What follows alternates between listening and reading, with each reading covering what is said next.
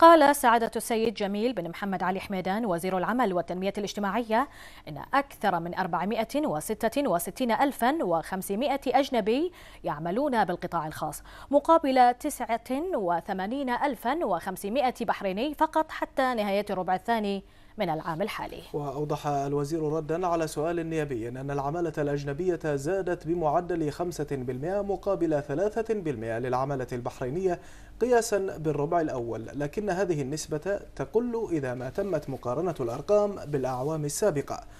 وأضاف أن معدلات النمو السنوية للعمالة البحرينية لعام 2015 انخفضت هي الأخرى مقارنة بالسنوات الماضية. وأشار إلى مشروع تأهيل وتوظيف البحرينيين الثاني خلال الفترة من 2014 إلى 2016 والذي يهدف لتوظيف عشرة آلاف باحث عن عمل.